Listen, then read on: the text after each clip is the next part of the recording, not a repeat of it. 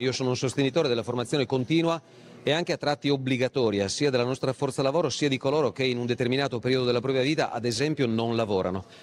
I fondi sono l'anello di congiunzione fra, questi, fra queste due realtà. Eh, nei, nel prossimo futuro avremo posti di lavoro sempre più formati, sempre più skillati, eh, come si suol dire, e quindi anche grazie a politiche espansive in termini economici a favore dei fondi serve che diventino effettivamente una gamba molto importante sotto questo, sotto questo punto di vista. Oggi eh, ci sono circa l'82% di eh, um, posizioni lavorative aperte rispetto per ogni candidato rispetto al 2020. Eh, questo gap, questa forbice che ancora non si riesce a colmare è evidentemente non attualizzabile proprio perché manca un profilo formativo. I fondi professionali sotto questo punto di vista possono svolgere un ruolo assolutamente importante e virtuoso.